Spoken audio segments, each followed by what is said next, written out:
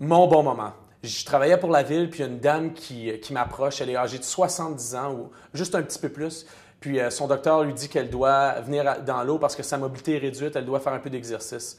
Euh, la, chose qui était difficile, c'est qu'elle a peur de, a peur de l'eau et un de ses objectifs, c'est de pouvoir nager une longueur de la piscine.